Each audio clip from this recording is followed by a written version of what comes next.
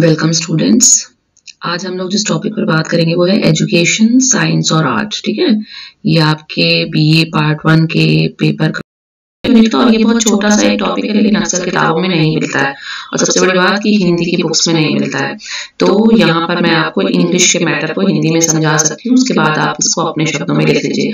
आएगा तो इस पर शॉर्ट नोट्स आता है, कि शिक्षा, विज्ञान है या कला है, इस पर टिप्पणी कीजिए। ठीक? इस तरह से आता है प्रश्न। तो आप इसको समझ लीजिए और समझकर फिर अपने शब्दों में इसको लिख लीजिएगा। तो बहुत छोटा सा टॉपिक है, बहुत छोटी सी बात है। ये कह रहे हैं कि शिक्षा है, वो विज्ञान है या कला, यानी कि आप शिक्षा को विज्ञान के अंतर्गत रखेंगे कि कला के अंतर्गत रखेंगे। तो ये कहता है कि it is a matter of debate that whether education is a science और आर्ट ये एक डिबेट का विषय है कि एजुकेशन या शिक्षा को हम विज्ञान करें या कला करें। तो सबसे पहले हमको ये पता होना चाहिए कि विज्ञान किसको कहते हैं और हम कला किसको कहते हैं। हम समझ जाएँगे कि शिक्षा विज्ञान के अंतर्गत आएगी कि कला के अंतर्गत। हम्म? तो ये बात लिखी हुई है कि first of all try to know what is science सबसे पहले ये जाने कि विज्ञान क्या है। तो विज्ञान क्या है? विज्ञान क्या है कि science is a systematic body of knowledge in a particular field of the world यानी कि किसी भी पर्टिकुलर फ़ील्ड में नॉलेज का अगर कोई सिस्टमैटिक बॉडी है, यानी कि साइंस की सबसे फोर मोस्ट इंपॉर्टेंट चीज़ क्या है कि उसको सिस्टमैटिक होना चाहिए। अनसिस्टमैटिक चीज़ को आप साइंस नहीं कह सकते। यानी कि विज्ञान की मूलभूत आवश्यकता क्या है? सिस्टम होगा। एक हायरार्की होगी, एक चरणबद्ध तरीका होगा जिसको आप फॉलो करेंगे, जिसका अनुपालन करेंगे, तभी वो साइंस कहला सकता है। ठीक? पहली खास बात, पहली कैरेक्टरिस्टिक साइंस होने के लिए। दूसरी it seeks to discover the general laws regulating the phenomena in that field through observation and experiments मतलब ये क्या करता है? Seeks to discover the general laws seeks मतलब कोशिश करता है डिस्कवर मतलब खोजने की किसको? जनरल लॉज जो कि साधारण नियम चल रहे हैं रेगुलेटिंग द फिनोमेना यानी कि किसी भी घटना को रेगुलेट करने के लिए, उसको नियंत्रित करने के लिए जो नियम चल रहे हैं, उनकी खोज में लगा रहता है किसके थ्रू किस विधि से ऑब्जर्वेशन एंड एक्सपेरिमेंट्स यानी सीधी सी बात क्या है कि हमारे इधर उधर इर्द गिर्द जितनी भी घटनाएँ हो रही हैं उनको किन नियमों के तहत हो रही हैं, उनकी वो खोज करता है, जिसके लिए वो तरीके अपनाता है। दो, एक तो प्रेक्षण, यानी ऑब्जर्वेशन और दूसरा एक्सपेरिमेंट्स यानी कि प्रयोग। आपको ये भी पता होगा, कुछ बच्चे साइंस बैकग्राउंड के नहीं भी है तो सिक्स सेवन एट की क्लास किताब में हम लोग जब पहली बार साइंस के बारे में पढ़ते हैं तो क्या पढ़ते हैं? कि विज्ञान जो है, वो जो एक्सपेरिमेंट है, यानी कि प्रयोग के कुछ चरण होते हैं। यानी कि सबसे पहले हम क्या करते हैं? समस्या का चुनाव करते हैं। फिर हम उसके लिए परिकल्पना का निर्माण करते हैं। फिर हम उसके लिए डेटा कलेक्ट करते हैं। फिर हम डेटा को क्या करते हैं? एनालाइज करते हैं। और लास्ट में हम ये कंक्लूजन पे या निष्कर्ष निकलते हैं कि जिस परिकल्पना को मानकर हम चले थे कि ऐसा होता है, वो सही है या गलत है? यानी कि हम उसको एक्सेप्ट कर लें, उसको स्वीकार कर लें या हम उसको रद्द कर दें, उसको छोड़ दें ये सिद्ध हो जाए कि ऐसा नहीं होता है। हम्म। और सबसे और एक और खास बात यहाँ साइंस की कि साइंस जो एक्सपेरिमेंट होते हैं, वो अगर हम उसी कंडीशन में कर रहे हैं, यानी कि अगर हम फिजिक्स की दिशा में फिजिक्स के टर्म्स में बात करें तो क्या उसी ताप ताप पर कर रहे हैं, उसी आयतन को लेकर कर रहे हैं, उसी पीबीआर पीबीआर बोलते हैं ना, ताप, दाब और आयतन, है ना?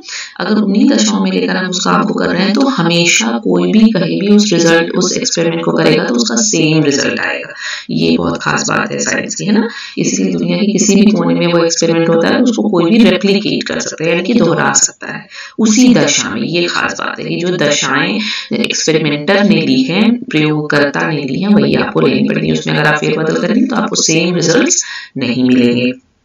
अच्छा इसके अलावा क्या है science in this slide we can say अच्छा that yes education is scientific in nature अगर हम साइंस ये मान रहे हैं कि वो सिस्टमैटिक बॉडी है वो ऑब्जर्वेशन और एक्सपेरिमेंट के थ्रू लॉस की डिस्कवरी uh, करती है या वो रेप्लिकेशन वाली बात है उसमें तो हम कह सकते हैं कि जो शिक्षा है वो विज्ञान ही है या वैज्ञानिक है किसमें? प्रकृति में अपने। That yes education is scientific in nature यानी कि आप शिक्षा को वैज्ञानिक प्रकृति का मान सकते हैं? क्यों मान सकते हैं? क्योंकि ये भी तो एक सिस्टमैटिक बॉडी ऑफ़ नॉलेज है ना? ये ज्ञान का एक सिस्टमैटिक बॉडी है जो कि एक्यूमुलेटेड थ्रू एजेस यानी कि सदियों से ये एक्यूमुलेट किया जा रहा है, जोड़ा जा रहा है, संचित किया जा रहा है किसके थ्रू ऑब्जर्वेशन और एक्सपेरिमेंट्स के थ्रू ठीक?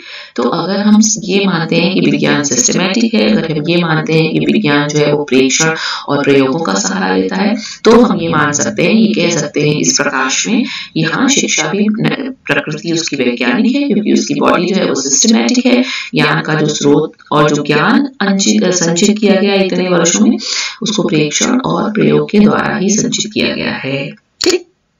अच्छा और क्या है? शिक्षा विज्ञान है इसके समर्थन में एक तथ्य और है कि it has its own theories and laws for arrangement and organisation of educational activities यानी कि जितनी भी शैक्षिक क्रियाएँ हैं, उसके लिए उसकी अपनी थ्योरीज और अपने लॉज भी हैं। अपने नियम है, शिक्षा में बहुत सारे नियम पढ़ते हैं लर्निंग के लॉज पढ़ते हैं थ्योरीज पढ़ते हैं। इसका मतलब कि हम कह सकते हैं कि शिक्षा की प्रकृति वैज्ञानिक है। ओके?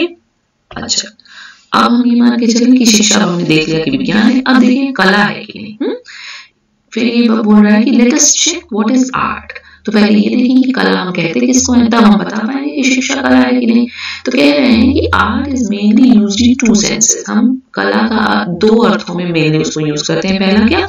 कि one for producing something beautiful एक तो ये कि हम अगर कुछ बहुत ही सुंदर हमने कृति की, जैसे किसी ने बहुत सुंदर गाया, किसी ने नृत्य बहुत अच्छा करता है, कोई पेंटिंग बहुत अच्छा करता है कहते हैं वाह क्या आर्ट है, बहुत बढ़िया बहुत बढ़िया, है ना?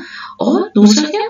Another for applying knowledge in realizing some useful ends या फिर हम ज्ञान का अनुप्रयोग उस दिशा में कर रहे हैं, जिससे कि हमको कोई फ्रूटफुल प्राप्ति हो रही है, यानी कि हमको कुछ उत्पादक मिल रहा है यूजफुल मिल रहा है। तब हम कहते हैं कि ये आर्ट है, जैसे सर्जरी या इंजीनियरिंग इंजीनियरिंग में भी तो आर्ट है, इतने खूबसूरत वो बन जाते हैं, पुल बन जाते हैं बिल्डिंग्स बन जाती हैं आर्किटेक्ट ये सारा है, आर्ट है। सर्जरी में इतनी महीन से महीन, बारीक से बारीक सर्जरी की जाती है, ये भी आर्ट है। यानी कि हम एप्लीकेशन ऑफ़ नॉलेज कर रहे हैं जिससे हमको कुछ यूजफुल मिल सके। या हम कुछ ब्यूटीफुल क्रिएट कर रहे हैं तो वो आर्ट है। यानी कि कला का हम इन दो मायनों में अर्थ इस्तेमाल करते हैं। तो इस प्रकाश में अगर देखे जाए तो शिक्षा क्या है? In this sort of understanding education should be regarded as an तो इस दिशा से देखा जाए तो शिक्षा भी तो कला है। क्यों? क्योंकि as it as it attempts to make human activities beautiful and meaningful क्यों? क्योंकि मनुष्य की जितनी भी क्रियाएँ हैं, उनको ये सुंदर बना देती है, सुंदर रूप दे देती है और अर्थपूर्ण बना देती है। या अर्थपूर्ण बनाने का प्रयास करती है, सुंदर बनाने का प्रयास करती है।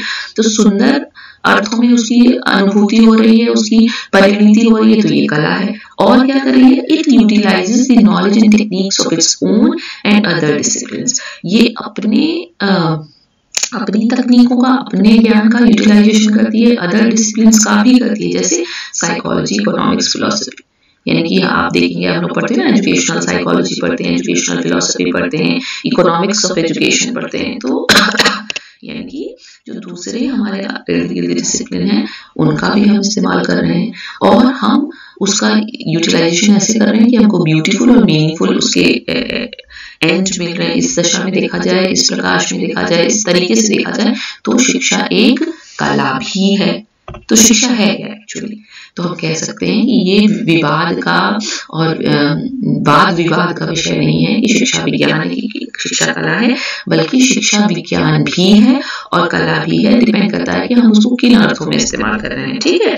तो at last we can conclude that education is both a science and art in fact it can be said that education is in the process of searching the science in an artful manner यानी कि वो कह रहा है कि शिक्षा विज्ञान भी है, कला भी तो है ही। या हम इसको इस अर्थों में भी निष्कर्षित कर सकते हैं कि शिक्षा विज्ञान को खोजने की दशा में मतलब कला पूर्ण तरीके से विज्ञान को खोजने की दिशा में प्रयास है प्रक्रिया है। समझ रहे? तो आप इसको अब, आपको अपनी समझ से और मैटर से बुक से मिल जाए, जहाँ से मिल जाए, इसको बढ़ा के शॉर्ट नोट बना लीजिए। छोटा सा ना? चलो